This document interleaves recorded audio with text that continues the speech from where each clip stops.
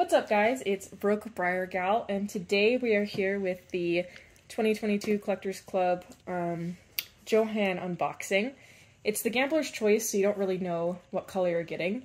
And I just want to say, this box is in some pretty rough shape. It's like already ripped open and like smashed in. Like I don't know what happened when it was being shipped.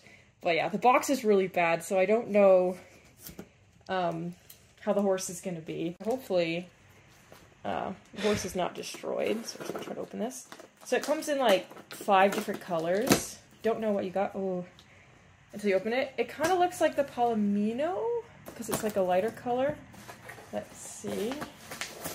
Oh yeah, I think it's the Poly. They're all supposed to be glossy. So let's see. It's a lot of bubble wrap, thank goodness. It's just wrapped.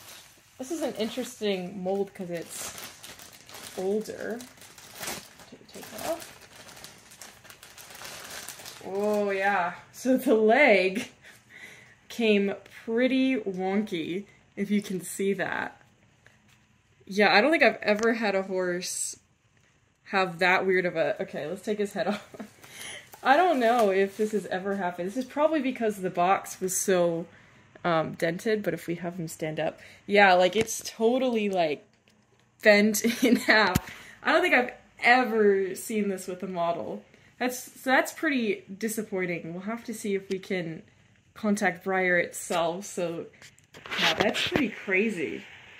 I mean, it's a real shame because the color is actually really nice. It's this like really pretty Palomino, but yeah, that leg is like totally, both of the legs are totally bent out of proportion.